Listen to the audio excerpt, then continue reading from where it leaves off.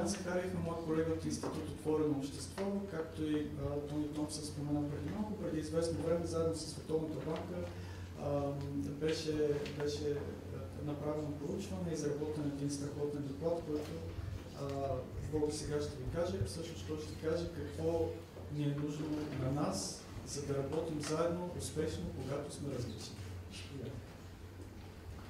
Благодаря ти, Митко. Мога да сме слайдовете. Моята презентация има няколко части. Ще кажа първо нещо за обществената среда, как българското общество приема различията и различните. Аз не познавах е, света на Марвел за първ път. Чух, но това, което, малкото, което научих, усещам, че нашата обществена среда и обществено мнение, които познавам много по-добре, не, не приличат в момента на, на света на. След това ще кажа малко за социално-емоционалните умения на ромите, а, а, съжалявам, че няма да мога да кажа за всички дискриминирани и уязвими групи, но нашия фокус в изследванията ни през годините и това, което сме правили а, заедно с Световната банка, както той ми каза, то е било основно върху ромите и други етнически малцинства. А, но мисля, че някои неща ще бъдат, биха се отнасяли до други групи. След това ще кажа специално за образованите млади роми, с които работим в момента, за да се види, че има разлика. В смисъл образованието дава, дава много, не може да даде всичко. Това също е много важен акцент. Когато човек е бил изолиран от малък и е живял в тежка среда, в трудни условия, образованието не може да компенсира всичко, но компенсира много. И накрая ще кажа малко за очакванията към работата и предпочитанията именно на, на младите роми, с които ние работим, защото те са особено интересни и според мен е и в тях някакви общо валидни неща. А, за обществената среда, това е наше съвсем скорошно изследване, както виждате от май тази година. А, ние традиционно питаме, ако хората трябва да избират между двама кандидати, питали сме преди за президент, за най-различни избираеми позиции. Сега питахме за кмет, понеже е по-актуално, мисля, че следващите избори, които ни предстоят местни. И питаме при равни други условия, биха ли гласували и след това има изброени много различни групи, след тях са ЛГБТ, лица от ромски происход и човек с увреждания, има и други.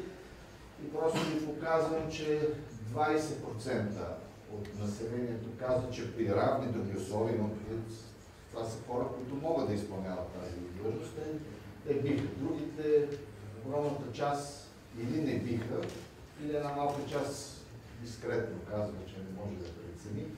А, резултатите за хората от ромски происход са почти същите. При хората с увреждания не е така, мога да кажа защо не, че те нямат много проблеми в а, нашето общество, а, а просто, а, как да кажа, моралното осъждане е останало до голяма степен в миналото, което при някои други групи продължава да бъде факт в общественото съзнание а, и това много пречи, питали сме хората дали през последните 12 месеца са чували враждебна реч. Тя е описана подробно, какво се разбира от враждебна реч. Половината са чували. И 40% казват, че не са чували и не са се сблъсквали, което разбира се също е някъде очудващо, тъй като знаем, че в медиите я има. Но това е, това е много. При всички положения е много. А, тези, които са чували, са чували много често или често, голямата част от тях.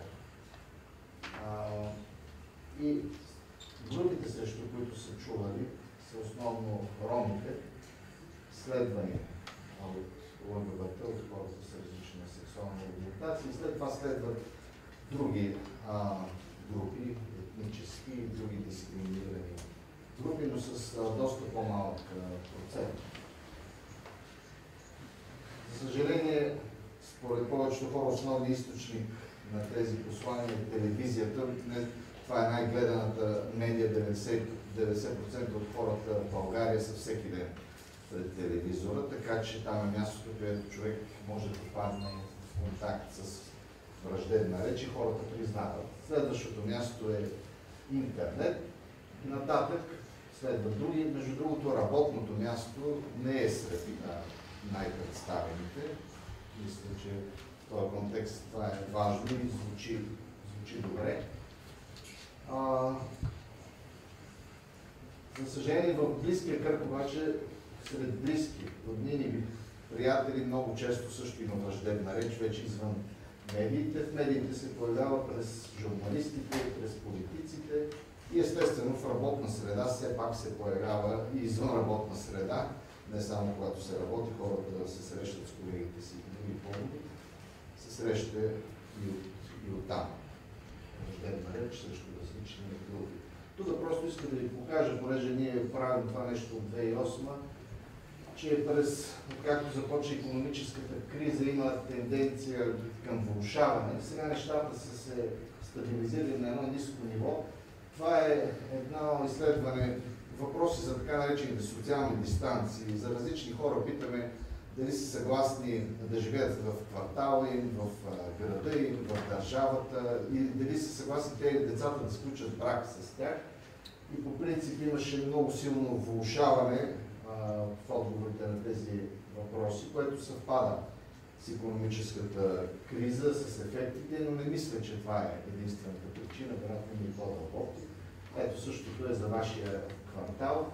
Тук, понеже сме питали само за етнически групи, затова не мога да ви кажа за други, виждате, че трендът е бил рязко а, надолу хората, които са съгласни да съжителстват с други. Тоест в момента сме в дъното на един неблагоприятен период, процес на влушаване, бих казал, на обществената, на обществената среда.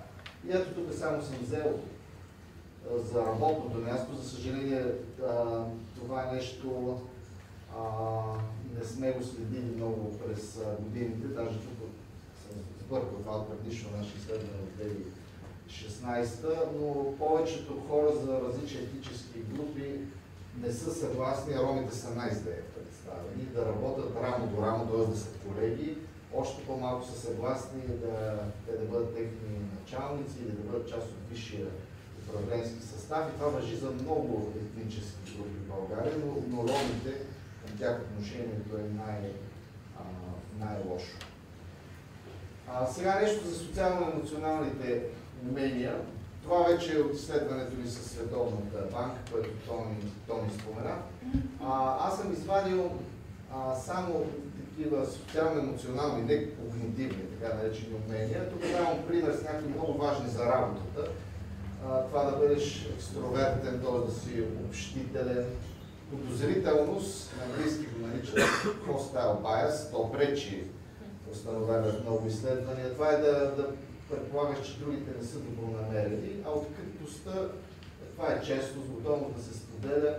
Вижда се тук, че както между мъже и жени, така и по етнически групи има сериозни разлики. Не гледайте тези точки, те са техническа, подобно няма как иначе това да го изобразя, но гледайте колкото по-насам са точките, толкова по-умението съответното е по-развито. И разбира се, при ромските жени ето, откритост, това е най-низката възможна. В смисъл, очевидно, те живеят в доста много тях патриархална среда, нямат много а, възможности, а и са сред най-дискриминираните групи. Ето четири други, много важни също за работата. Съзнателност, упоритост, самоконтрол и амбициозност. Нарочно съм ги взел в пакет, защото те се казват близки неща. Виждате и тук, че има много сериозни, ето виждате амбициозност, примерно тази точка. При ромските жени и мъже, това са хора, взети случайни извадка, там разбира се образованието играе огромна роля, бедността. А, това съвсем не означава, като има различия по етноси, че се дължи на, на етноса, дължи се на комплексно други неща. Има огромна, огромна разлика в амбицията, в готовността да се отстояваш, но интересното е, че в самоконтрола и в този дисциплината ромските жени и мъже, особено ромските жени, се представят изключително, изключително добре. Иска да ви покажа само, ето това е вече само хора с средно и висше образование. Как почти изчезват голяма част от разликите. Тези са вече незначителни. Тоест образованието, то не може съвсем да премахне, то влияе страшно силно и то не, не толкова колкото мислим върху техническите умения и върху когнитивните, а влияе върху много други неща, които са изключително важни, даже повече. Даже много повече. И сега накратко за младите роми, с които започнахме да работим на които Митко активно търси работа и, и които са станали повод за да, да по нашата програма Мост към бизнеса да има тази среща. Това е една значителна, бих казал, извадка от 150 човека, които са кандидатствали и сме ги питали най-различни неща, за да видим мотивацията им за работа. А, искам да кажа, че тяхната самооценка, също с мен това ме изненада, по много измерения е доста висока. А, ето виждате, това е въпросът, можете ли да работите бързо. Насам са високите стоености. Отнася се за мен в много голяма степен. Работя усърдно също и аз мога да потвърда, че това е действително, действително така. Добър съм в това да представям себе си. Тук е малко по-колебливо. Но въпреки всичко, хора, тези младежи си дават доста висока оценка. Сега, по отношение на лидерството, обаче има едно желание да си по-в сянка. Водещ съм при воденето на разговор. Те не искат, тук е балансирано. Много от тези младежи не желаят те да бъдат водещ, водещите фигури. Тук отново, добър съм в представянето на свършената от мен работа. Мога добре да обяснявам проблеми. А, лесно работя с други хора, за да решим проблем, задача. Отново две трети отговарят, че могат. Разбирам проблемите на други хора. Това е много важно. Това е емпатията, която е ключова за много видове, за много професии. Добър съм в решаването на конфликти отново. А, и сега едно когнитивно умение, че те разбирам точно какво съм прочел, не съм слагал други. Висока самооценка ще кажа, разбира се, че по обективни критерии когнитивните умения наистина има проблеми и това се дължи и на нашата образователна система и на сегрегираните училища. Удовлетворен съм като цяло от себе си. Това е, това не човек хора потиснати, а такива, които имат, имат самочувствие. И накрая само още последните две минути. Нагласите към работа. Тук са много интересни. Питали сме дали са готови да работят извънредно. Повечето хора не искат да работят, няма да се изненадат извън работно време, независимо дали са роми или не. Тези резултати са доста всъщност високи. Много хората са в голяма степен склонни да работят извънредно, склонни са и да пътуват, жените по-малко, разбира се, те трябва да могат да традиционно така е и в ромското общество, това все още е по-очертано, изпълняват семейни задължения, искат да работят с пари, но не да планират бюджети. Между другото, сега отиваме към нещата, които са свързани с данни, които много се търсят от работодателите. За съжаление, повечето млади хора, включително ромите, не искат много да се занимават с, с данни и с анализи не искат да използват математика и статистика. Това се вижда и по това какво се учи нещо. Не искат много да пишат аналитични доклади. Не, че няма, няма и такива, но виждате, там вече нещата са изнесени в другата посока. Искат обаче да комуникират с хора, да говорят по телефон, да продават продукти и услуги, да участват в преговори. И завършвам с това. Това е специално умение, разбира се, да говориш, понеже днес говорим пред публика. А тук нещата също са колебливи. Много от малите хора предпочитат да не говорят пред публика, включително образованите млади роми, но има, както виждате, такива, за които може да разчитате и за преговори, и за презентации, и за общуване. А, така че мисля, че една работна сила недооценена, която Митко сега се опитва да как да кажа, да им помогне на тези млади хора да, си, да се реализират живота. И аз се надявам да може да имаме такава информация след време, да работим с други групи, които са дискриминирани и уязвими. Това е мен. Благодаря ви.